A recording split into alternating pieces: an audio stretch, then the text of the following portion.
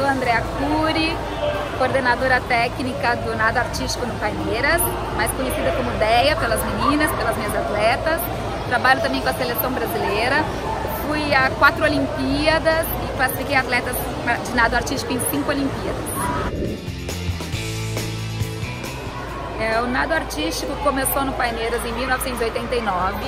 Eu tinha sido atleta desse esporte e a treinadora Márcia Leite, que trabalhava no clube na época, me ligou e falou: Olha, comecei o nado aqui esse ano, em janeiro, e o esporte está crescendo, eu preciso de ajuda. Você consegue vir? Nossa, eu fiquei muito feliz porque eu adorava, eu adorava ajudar a minha técnica a criar as coreografias. Então eu vim animadíssima. Eu estudava publicidade na época, fazia faculdade de publicidade na FAP e eu vim para cá em agosto de 89.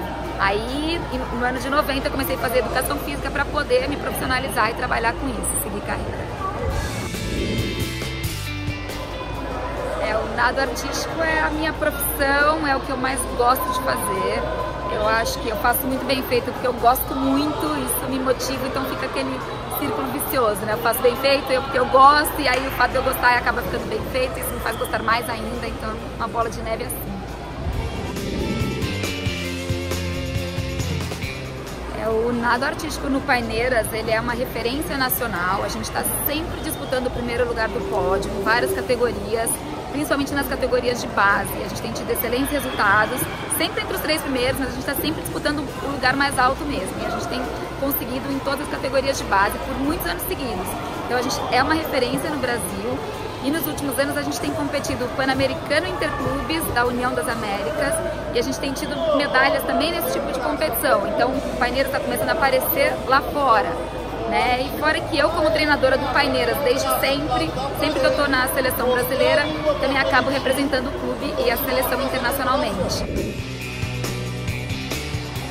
A categoria de base do Paineiras é sempre muito alimentada. As crianças vêm do formativo, do nado artístico do formativo para o competitivo e são sempre muito motivadas a engrenar nesse esporte e, e, elas acabam, a gente fala que elas são mordidas, né? Que elas ficam contaminadas pelo esporte porque elas elas percebem o ambiente, elas gostam de fazer coreografia, é um esporte que normalmente elas gostam de ter música na piscina, não fica só nadando, então elas se motivam, criam muita amizade como a carga horária é extensa, mesmo para as categorias de base, elas acabam ficando muito amigas entre elas, as famílias também. Então, normalmente, normalmente o ambiente é muito bom e cria esse celeiro de futuras atletas excelentes de nível nacional e internacional. É toda criança que gosta de música, que gosta de natação, meninos e meninas, tá? Porque hoje o nado artístico ele também é para meninos, então a gente tem o dueto misto, que é formado por um menino e uma menina, em provas internacionais, então a gente está começando a alimentar isso no clube também, nas categorias de base, para a criança já aprender e poder competir nas categorias de cima. Né? Então, assim, não tem um perfil específico. O ideal é um biotipo longilíneo, com que tenha bastante adaptação ao meio líquido, mas a gente trabalha com todas as crianças que se inscrevem. hoje em dia, para participar da criação de coreografia, conto muito com as atletas, né? Porque elas me trazem também as novidades da idade delas, do que elas gostam. Claro que a gente faz um filtro, mas normalmente a gente escuta todo mundo, elas trazem música, elas trazem ideias, às vezes elas trazem a temática, ah, vamos fazer essa coreografia de Mamma Mia, vamos fazer de Broadway, vamos fazer de Beatles. Elas trazem uma bagagem muito legal e a gente vai construindo juntas, na água também, elas participam muito da parte de criação e me dão ideias e fazem aulas de alçado, de acrobacia para trazer para a água. Então ela é multicultural e eu conto com todo mundo. O Paineiras, as coreografias do Paineiras têm uma característica muito artística. A gente acaba priorizando esse lado porque acho que as atletas se divertem mais. A gente conquista o público e com isso a gente ganha arbitragem. Eu acho que é um ponto forte e é uma característica minha, então a gente coloca, aparece muito na água. Paineiras acabou virando um clube de tradição e referência. A gente está aqui já, esse é o trigésimo ano, né, com 30 anos de nado artístico. E logo em 89, quando eu entrei aqui, tinha uma equipe com talento assim, fora do comum, muitas meninas muito talentosas e as gêmeas, Isabela e Carolina de Moraes, que eram totalmente fora da caixa. Né? Elas tinham 9 anos, eram super altas, com uma perna super longilínea, uma ponta de pé maravilhosa e já um talento artístico e uma pegada de coreografia que assim, eu nunca vi no Brasil até hoje. Então assim, elas de cara elas entraram, elas foram campeãs brasileiras, campeãs sul-americanas começaram a crescer no cenário internacional. Quando elas eram juvenis, elas já foram é, é, convocadas para competir na categoria acima, fora do país. Quando elas eram júnior, elas foram mundial adulto. Então era assim, era uma categoria muito mais forte e elas tiveram um resultado tão bom que a FINA, a Federação Internacional, mandou um diploma justificando, parabenizando as meninas para o Paineiros, né, para a Confederação e para o Paineiros. Então assim, aonde elas iam, elas paravam na piscina. E além da parte artística, elas tinham uma coisa de alma muito forte. Quando elas nadavam dueto, elas tinham uma entrega muito forte para o esporte. Então acho que assim, a tradição começou com elas, eu era muito novata na época e eu cresci com elas, porque a gente começou a ir para campeonato internacional, um atrás do outro, e, na, e no ano 2000 elas foram para a primeira Olimpíada e eu fui junto. Então assim, foi um aprendizado em conjunto, a gente cresceu muito, e a partir daí quem foi entrando foi pegando essa bagagem, né, e a minha bagagem também, de ter participado de tudo isso com as gêmeas, de passar, poder dar essa devolutiva para o clube, de alimentar isso nas próximas atletas, né. Então, eu me lembro que em 2004, de novo, elas foram para a segunda Olimpíada, já muito mais experientes, muito mais tranquilas.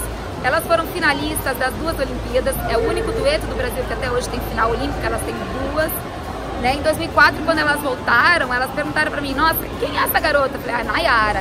E foi a nossa próxima atleta olímpica, né? Que em 2008 representou o Paneiras, representou o Brasil na China. Aí logo depois de 2008, a Nayara convenceu a Lara, que era a duetista dela, falou assim, meu, vamos pro Paineiras, vamos treinar na estrutura do Paineiras, a gente tem uma equipe multidisciplinar excelente, a DEA, não sei o que lá.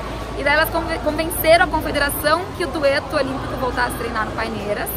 E aí a gente fez o próximo ciclo de 2009 a 2012 aqui dentro, né? Então foi outra Olimpíada com duas atletas.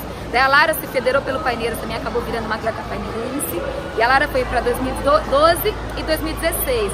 Então são assim, cinco Olimpíadas seguidas que o Paineiras teve uma atleta representando. Então óbvio que a gente acabou virando um clube de referência, né? A gente sempre tem uma atleta muito forte e cinco Olimpíadas não é para qualquer clube, né? É, mas na Olimpíada de 2016 o treinamento foi no Rio de Janeiro, então eu não participei, né? Eu não quis sair de São Paulo e também não largo Paineiras. Então eu não participei do ciclo olímpico de 2016.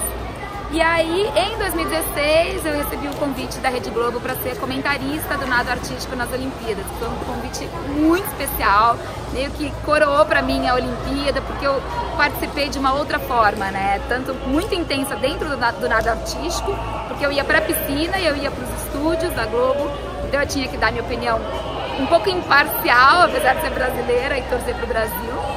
Mas foi muito interessante porque eu pude participar de vários outros esportes. Eu senti a Olimpíada de um prisma que eu nunca vi, né?